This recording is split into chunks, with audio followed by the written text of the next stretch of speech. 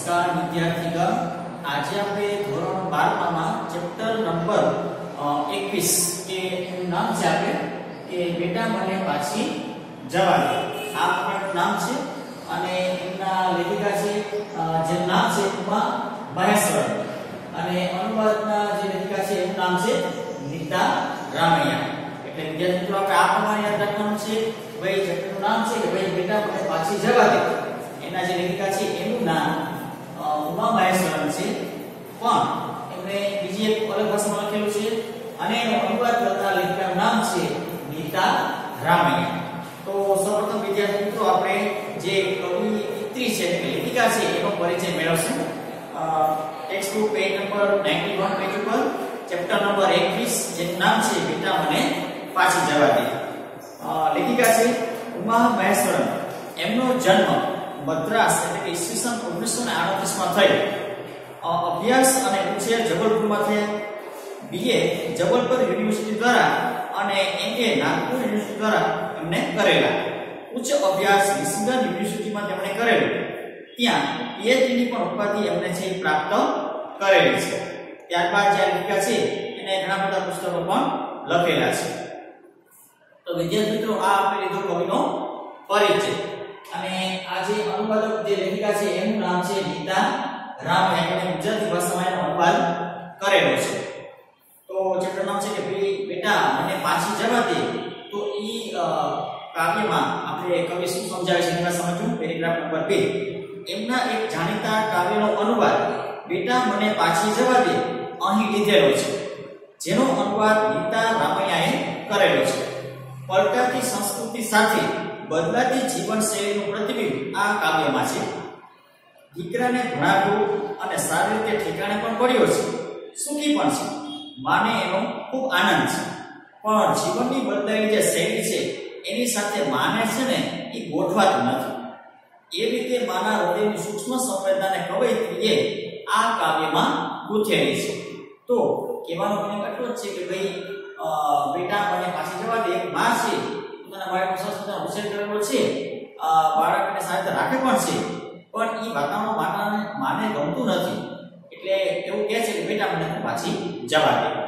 ચાલો, આપણે કવિતાની શરૂઆત કરશું. ટેક્સ્ટ બુક પેજ નંબર 91 ઉપર પહેલી છે. કોને ખબર કેવી જગ્યાએ તું મને લઈ આવ્યો છે, બેટા? એક માં પોતાના દીકરાને એવું કહે છે કે, હું જાણતી નથી, બેટા, મને ખબર પણ નથી કે તું કઈ જગ્યાએ મને હું લાવેલો છે. અહીં બધી જ બારીઓ હંમેશા બંધ રખાય છે. એટલે આ મકાનની જે બારીઓ છે, એ બધી બારીઓ હું જોઉં છું કે હંમેશા બંધ રાખવામાં આવે છે. ને આગળ કારણે આગળ તાળું વાસી હોય છે. અને જે સૌથી આગળનો જે બારણું છે, દરવાજો છે, ત્યાં જોઉં છું કોઈ તાળું મારેલું હોય છે. ભલે પધાર્યા કહેવા માટે, ઉમરામાં કોઈ રંગોળી નહીં. ઉમરો છે તો ઉમરામાં કોઈ પણ રંગોળી પણ નથી. અને ભલે પધાર્યા એવું બેનર પણ મારેલું છે. લક્ષ્મીજી ક્યાંથી પધારે? બેટા. તો આવી રીતે શરૂઆતની પંક્તિઓમાં એક માં છે, એ પોતાના દીકરાને વાત કરે છે, કે તું મને ક્યાં લેવું છે, મને પણ ખ્યાલ નથી. અહીંયા હંમેશા બધી બારીઓ જો બંધ થવામાં આવે છે, અને આગળ જે બાણું છે તાળું હોય છે, અને ભલે પધારે એવું બોર્ડ છે, પણ હવામાં લક્ષ્મીજી કેવી રીતે વધારે બેટા? એવો પ્રશ્ન એક માં સોરી પોતાના બાળકને કરે છે કે આવી રીતે હોય તો લક્ષ્મીજી કેવી રીતે આવે? જ્યાં એની એ જ હવા ગોળે ગોળ ફર્યા કરતી હોય છે, લક્ષ્મીજી પધારવાની પરવા કરે ખરા? કહે તો બેટા કે આવું બધું બંધ આવેલું છે બધી બંધ છે, આગળ તાળું છે, અને બોર્ડ લટકાવી છે, ભાઈ, ભલે પધાર્યા. એટલે આવું. પણ હવામાં લક્ષ્મીજી કેવી રીતે આવે? કમળ ઉપર જે બિરાજમાન છે અને આદિકાળના દૂધના સમુદ્રમાં જેનો વાસ છે, તે દેવની પત્ની. લક્ષ્મીજીની વાત કરે છે કે કમળ ઉપર જે બિરાજમાન છે, કમળ ઉપર જે શોભે છે, બિરાજે છે આદિકાળના સમુદ્ર સમાન આદિકાળ વિદ્યાર્થી મિત્રો આદિકાળ એટલે આપણે કહીએ શરૂઆતનો આરંભકાળ સૃષ્ટિનો શરૂઆતનો સમય. તો દૂધના સમુદ્રમાં જેનો વાસ છે, એવા તે દેવપત્ની છે.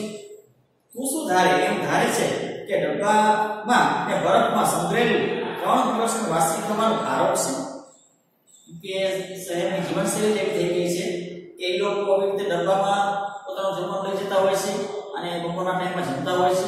તો ડબ્બામાં જે રાખેલું જે સંભળેલું જે ભોજન છે એ ત્રણ ત્રણ દિવસનું વાસી એવું ખાવાનું શું આરોગાશે વિદ્યાર્થી શબ્દ આવે છે કે વાસી એટલે કે આગલા દિવસનું પડતર જે ભોજન છે, એને ફ્રીમાં રાખવામાં આવે છે, ડબ્બામાં ભરવામાં આવે છે શું શકે? બેટા, હું ખૂબ રાજી છું, બેટા. તમે સારી રીતે ઠેકાણે પડેલો જોઈને મા વાત આગળ વધારતા એવું કહે છે કે, બેટા, તું સુખી છો, સારી રીતે રહે છે આવું બધું જોઈને મને તો ખૂબ જ આનંદ થાય છે. બાળકો, તમે તને સારી ઠેકાણે પડેલો જોઈ અને મને આનંદ થયો? બાળકોને પત્નીને બધું જ. જો કે તારી પત્ની અન્ય પુરુષોના હાથ પકડે છે.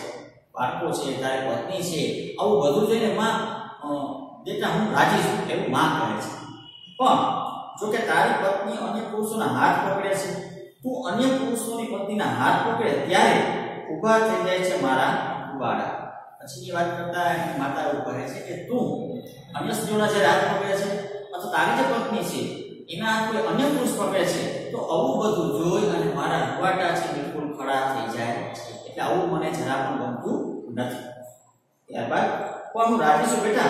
ખરેખર રાજી છું. તને સુખી સંપન્ન જોઈ અને એકમાં છે ખૂબ જ ખુશ છે, આનંદ પામે છે એવું કહે છે. એ વાત કે તું ઠેકાણે પડી ગયો, સારું થયું, સારું. અને મને લઈ આવ્યો છે આટલે દૂર એ મોટા એવા શહેરમાં તું બેટા ઠેકાણે પડી ગયો, સરસ તને નોકરી મળી ગઈ. સરસ તને બાળકો પણ છે. અને આટલું ગામડાથી દૂર છે, તો તારું ઠેકાણું ખૂબ સારું છે. અને સારું કહેવાય કે તો મને આટલા દૂરના ઠેકાણે પણ મને લાવ્યો છે. એટલે આ બધું જોઈ અને માને ખૂબ જ આનંદ છે, પણ અમુક બાબતો છે એનાથી મા એ દીકરાથી બિલકુલ નિરાશ થાય છે. ત્યારબાદ પેજ નંબર 92 ઉપર આ તારું રૂપકનું ઘર, તારી કાર ને બધું જોવાય પણ આ માસી હવા મારાથી શ્વાસમાં લેવાતી નથી. તારી પાસે સરસ મજાનું મકાન છે, ઘર, તારી કાર, આ બધું જોવા મને લાગ્યો છે આ બધું મને સારું લાગે છે, ગમે છે. પણ આ વાસી હવામાં મારે રહેવું નથી, મારો શ્વાસ બંધાય છે. ગઈકાલની રસોઈની વાસ હવામાં ગોળ ફર્યા કરતી બેટા, રસોઈ તો રોજ રોજ કરવાની બાબત છે.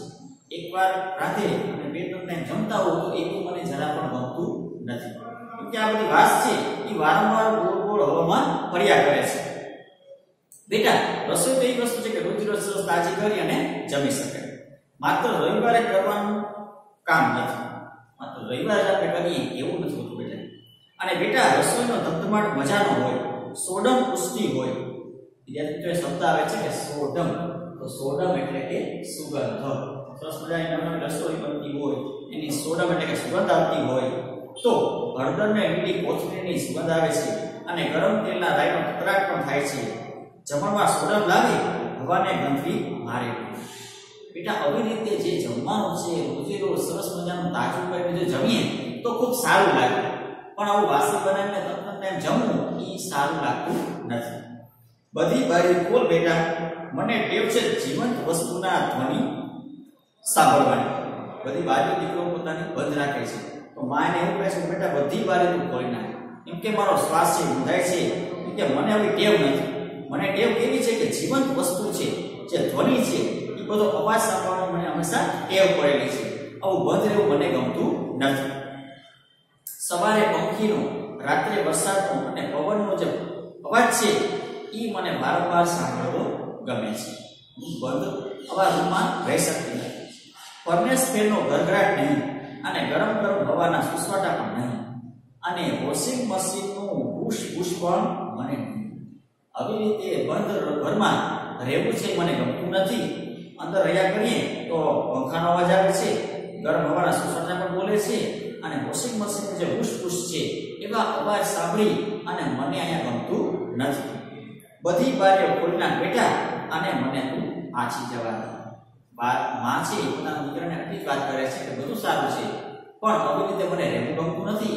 માટે કરીને બેટા, મને તું પાછી જવા દે. સૂર્ય અને હવા તરફ અને પરસેવો અને માખીને એવું બધું. પણ આ તો નહીં. ના, નહીં જવાબ. એટલે કહેવાનો મીનિંગ છે કે સૂર્ય છે રીતે ખુલ્લી હવા છે, એવું બધું મને રહેવું, જોવું, સાંભળવું ગમે છે. પણ હું આવી રીતે બંધ એવા રૂમમાં રહી શકતી નથી. માટે કરી અને બેટા મને અહીંથી જવા દે. માં આવી રીતે આ કાવ્યના માધ્યમ દ્વારા કવયિત્રી છે એ આપણે સમજાવવા માંગે છે કે આવી જે શહેરની જે બધી વાતો છે, એમાં જે આ માં આવેલી છે ગામડેથી એને પણ અભાવ વાતાવરણમાં છે એ ગોઠતું નથી, સારું નથી લાગતું. માટે બેટાને ખુશ થયેલો જોઈ એને સરસ મજાની પત્ની છે, બાળકો છે, સરસ મજાનું ઘર છે, આવી રીતે રહે છે. એ બધું સારું, આનંદ છે, ખુશ છે. પણ મને આ વાતાવરણમાં છે એ ફાવતું નથી. માટે કરી અને બેટા મને તું પાછી જવા. બસ.